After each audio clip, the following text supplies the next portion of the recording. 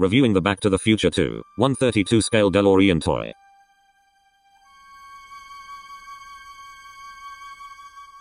They changed the OUTATIME number plate to the Back to the Future 2 number plate, see.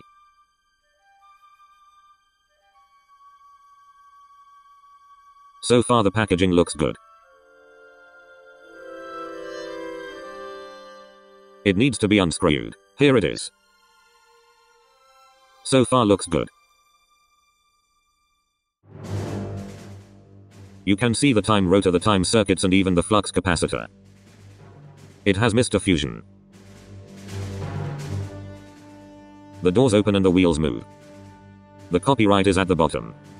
It has rust on the back.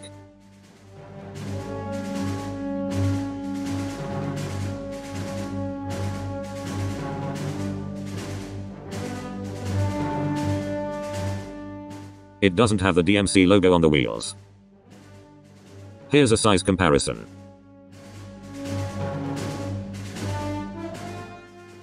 It doesn't say DMC on the front yet, the tiny Hot Wheel does. It's fun to play with. I rate this an 8 out of 10.